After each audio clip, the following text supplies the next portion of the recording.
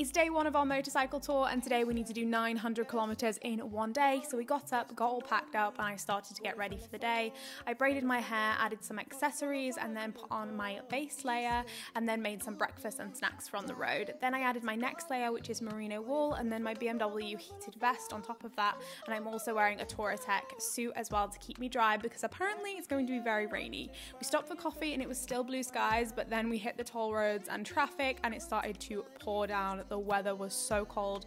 It was two degrees at some point with so much wind, so we kept stopping for snacks and drinks along the way. My hands were literally starting to freeze off at this point. Luckily, everything we have is waterproof and kept me warm and dry, so I was very happy about that. We ended up at our hotel just outside of Bordeaux, and I basically got ready for the evening. My hair was looking a little worse for wear, so I untangled it all, and then I went in a steaming hot shower for the evening and got ready for tomorrow.